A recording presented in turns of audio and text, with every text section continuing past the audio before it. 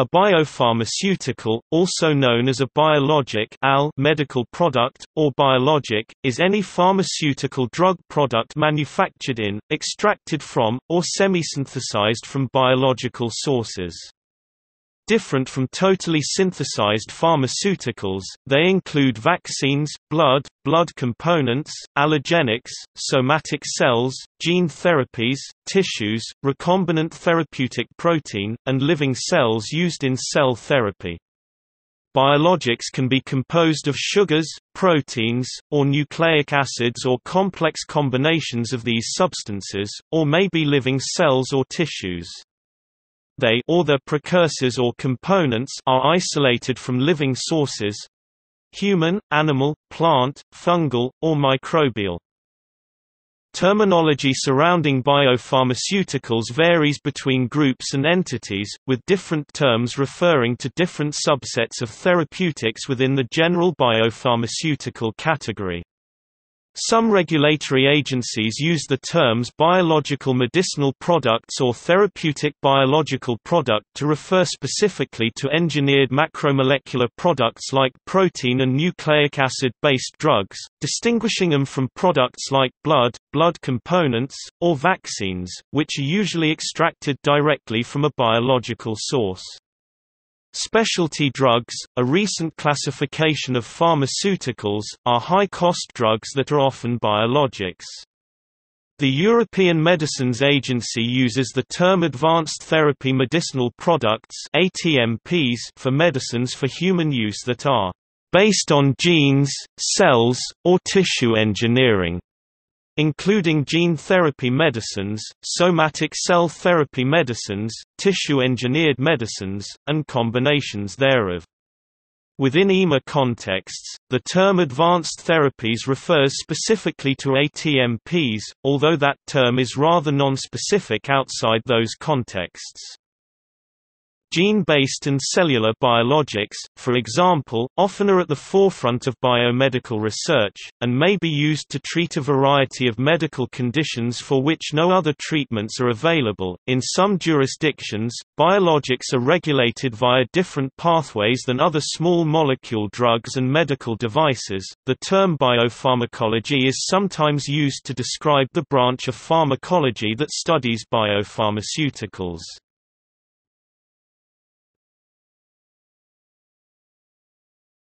Topic: Major classes.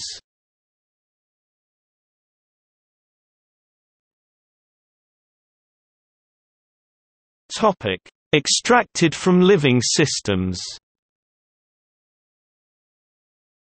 Some of the oldest forms of biologics are extracted from the bodies of animals, and other humans especially.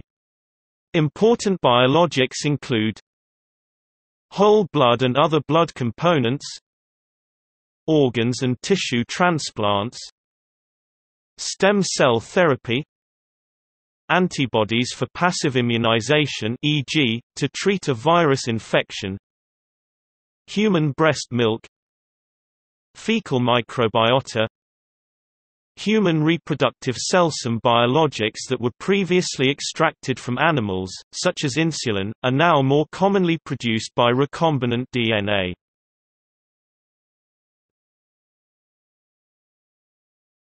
Topic: Produced by recombinant DNA. As indicated the term biologics can be used to refer to a wide range of biological products in medicine. However, in most cases, the term biologics is used more restrictively for a class of therapeutics either approved or in development that are produced by means of biological processes involving recombinant DNA technology. These medications are usually one of three types. Substances that are nearly identical to the body's own key signaling proteins. Examples are the blood production stimulating protein erythropoietin, or the growth-stimulating hormone named simply growth hormone, or biosynthetic human insulin and its analogues. Monoclonal antibodies These are similar to the antibodies that the human immune system uses to fight off bacteria and viruses, but they are custom designed using hybridoma technology or other methods and can therefore be made specifically to counteract or block any given substance in the body, or to target any specific cell type. Examples of such monoclonal antibodies for use in various diseases are given in the table below. Receptor constructs fusion proteins, usually based on a naturally occurring receptor linked to the immunoglobulin frame. In this case, the receptor provides the construct with detailed specificity, whereas the immunoglobulin structure imparts stability and other useful features in terms of pharmacology. Some examples are listed in the table below. Biologics as a class of medications in this narrower sense have had a profound impact on many medical fields, primarily rheumatology and oncology, but also cardiology, dermatology, gastroenterology, neurology, and others. In most of these disciplines, biologics have added major therapeutic options for the treatment of many diseases, including some for which no effective therapies were available, and others where previously existing therapies were clearly inadequate.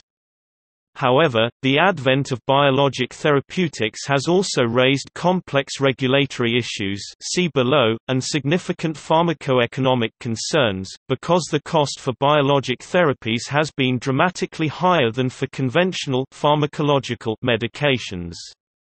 This factor has been particularly relevant since many biological medications are used for the treatment of chronic diseases, such as rheumatoid arthritis or inflammatory bowel disease, or for the treatment of otherwise untreatable cancer during the remainder of life. The cost of treatment with a typical monoclonal antibody therapy for relatively common indications is generally in the range of €7,000 minus 14,000 per patient per year. Older patients who receive biologic therapy for diseases such as rheumatoid arthritis, psoriatic arthritis, or ankylosing spondylitis are at increased risk for life-threatening infection, adverse cardiovascular events, and malignancy. The first such substance approved for therapeutic use was biosynthetic human insulin made via recombinant DNA. Sometimes referred to as RHI, under the trade name Humulin, was developed by Genentech, but licensed to Eli Lilly and Company, who manufactured and marketed it starting in 1982. Major kinds of biopharmaceuticals include blood factors factor VIII and factor IX, thrombolytic agents tissue plasminogen activator, Hormones insulin, glucagon, growth hormone, gonadotrophins Hematopoietic growth factors erythropoietin, colony-stimulating factors Interferons interferons alpha, beta, gamma Interleukin-based products interleukin 2 Vaccines hepatitis B surface antigen Monoclonal antibodies various additional products tumor necrosis factor, therapeutic enzymes research and development investment in new medicines by the biopharmaceutical industry stood at $65.2 billion in 2008. A few examples of biologics made with recombinant DNA technology include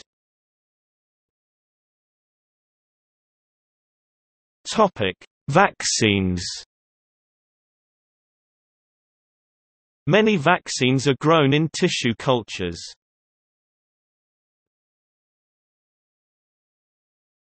Topic: Gene therapy. Viral gene therapy involves artificially manipulating a virus to include a desirable piece of genetic material.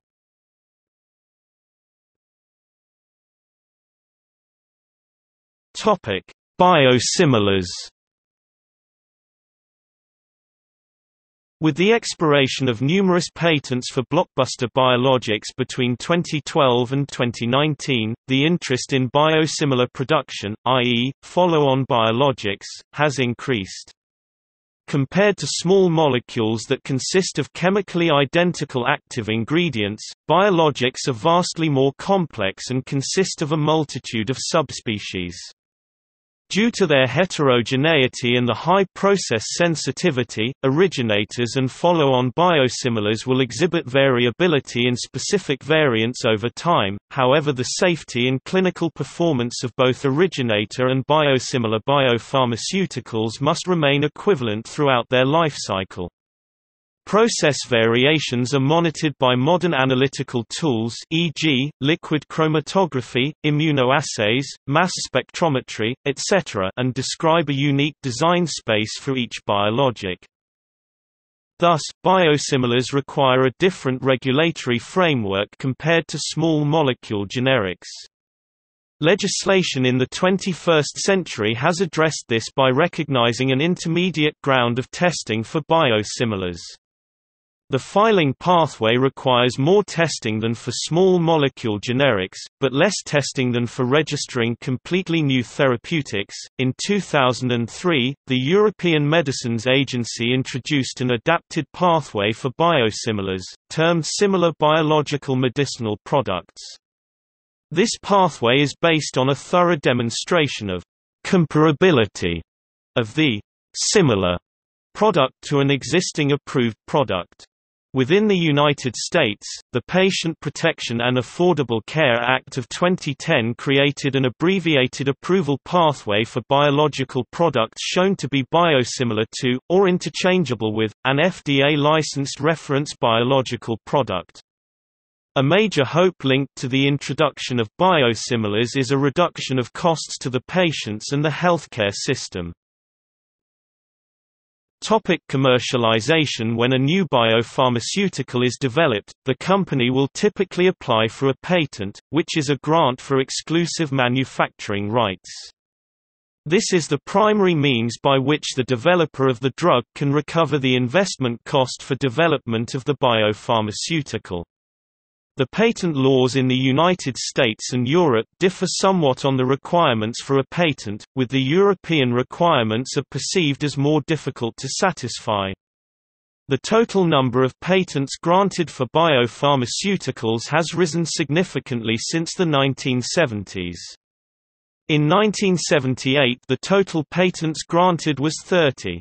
This had climbed to 15,600 in 1995, and by 2001 there were 34,527 patent applications. In 2012 the US had the highest IP intellectual property generation within the biopharmaceutical industry, generating 37% of the total number of granted patents worldwide, however, there is still a large margin for growth and innovation within the industry. Revisions to the current IP system to ensure greater reliability for R&D research and development investments is a prominent topic of debate in the US as well. Blood products and other human-derived biologics like breast milk, have highly regulated or very hard-to-access markets, therefore, customers generally face a supply shortage for these products due to their nature and often institutions housing these biologics, designated as banks, cannot distribute their product to customers effectively. Conversely, banks for reproductive cells are much more widespread and available due to the ease of which spermatozoa and egg cells are able to be used for fertility treatment.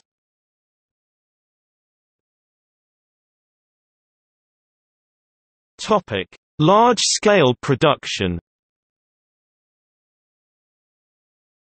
Biopharmaceuticals may be produced from microbial cells e.g., recombinant E. coli or yeast cultures, mammalian cell lines see cell culture and plant cell cultures see plant tissue culture and moss plants in bioreactors of various configurations, including photobioreactors. Important issues of concern are cost of production low volume, high purity products are desirable and microbial contamination by bacteria, viruses, mycoplasma. Alternative platforms of production which are being tested include whole plants plant-made pharmaceuticals.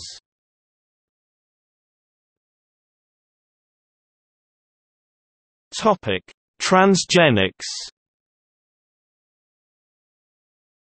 A potentially controversial method of producing biopharmaceuticals involves transgenic organisms, particularly plants and animals that have been genetically modified to produce drugs. This production is a significant risk for the investor, due to production failure or scrutiny from regulatory bodies based on perceived risks and ethical issues. Biopharmaceutical crops also represent a risk of cross-contamination with non-engineered crops, or crops engineered for non-medical purposes. One potential approach to this technology is the creation of a transgenic mammal that can produce the biopharmaceutical in its milk, blood, or urine. Once an animal is produced, typically using the pronuclear microinjection method, it becomes efficacious to use cloning technology to create additional offspring that carry the favorable modified genome.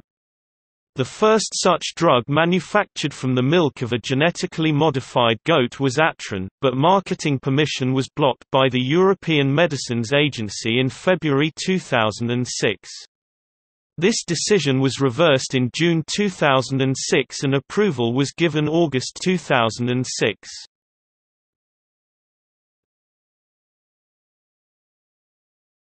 Topic: Regulation.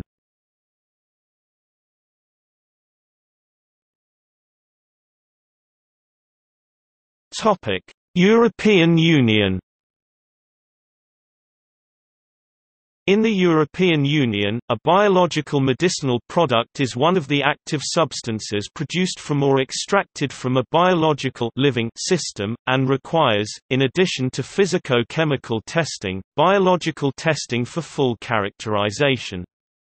The characterization of a biological medicinal product is a combination of testing the active substance and the final medicinal product together with the production process and its control. For example, production process, it can be derived from biotechnology or from other technologies. It may be prepared using more conventional techniques as is the case for blood or plasma-derived products and a number of vaccines. Active substance, consisting of entire microorganisms, mammalian cells, nucleic acids, proteinaceous, or polysaccharide components originating from a microbial, animal, human, or plant source. Mode of action, therapeutic and immunological medicinal products, gene transfer materials, or cell therapy materials.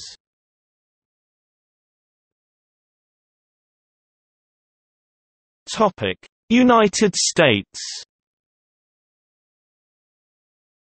In the United States, biologics are licensed through the Biologics License Application (BLA), then submitted to and regulated by the FDA's Center for Biologics Evaluation and Research (CBER), whereas drugs are regulated by the Center for Drug Evaluation and Research. Approval may require several years of clinical trials, including trials with human volunteers. Even after the drug is released, it will still be monitored for performance and safety risks. The manufacture process must satisfy the FDA's good manufacturing practices which are typically manufactured in a clean room environment with strict limits on the amount of airborne particles and other microbial contaminants that may alter the efficacy of the drug.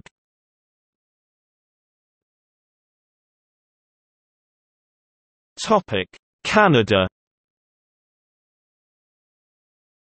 In Canada, biologics as well as radiopharmaceuticals are reviewed through the Biologics and Genetic Therapies Directorate within Health Canada.